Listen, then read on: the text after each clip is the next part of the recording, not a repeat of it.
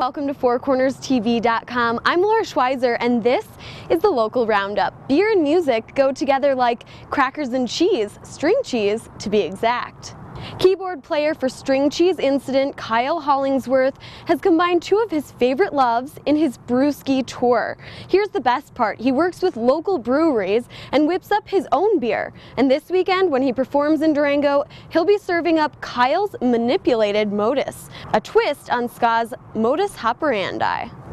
That's Saturday at 10 p.m. at the Animas City Theater. And after all that beer, are you looking for a good workout? Try hauling hundreds of pounds of cargo on your bike. Cargo bikes are typically seen in Europe, but here in bicycle lovers land, they're catching on. These rides are one or two feet longer than typical bikes and are equipped to handle multiple people and up to 400 pounds. And here's your chance to vote for Durango and Moab as the best U.S. cycling town. Cast your vote at www.10best.com and the heart of the Durango Herald, Morley Ballantyne, who passed away in 2009, was inducted into the Colorado Women's Hall of Fame.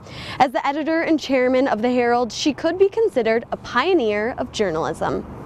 And Southwest Colorado receives an A plus for their B movement. Honeybees not only provide nutritious food, but they're critical for pollinating crops. And with a decline in honeybees, Montezuma County has stepped up their beekeeping game. They're ranked 8th in the state for hive production with 127 colonies producing almost 11,000 pounds of honey. You could call it liquid gold. And Cortez Middle School will be producing other profitable products.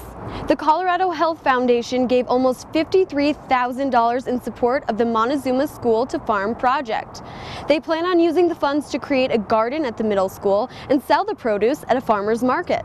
The project also provides students with opportunity to learn about business and math concepts and, of course, nutrition. But at El Rancho Tavern, beauty is in the eye of the beer holder.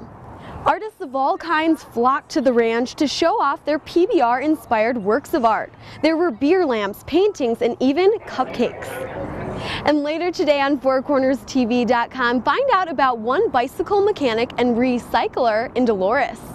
This guy finds a use for every part and piece of a bicycle that has passed its prime. That's right here at 3 p.m. Thanks for watching the local roundup on FourCornersTV.com. I'm Laura Schweizer. We'll see you Monday.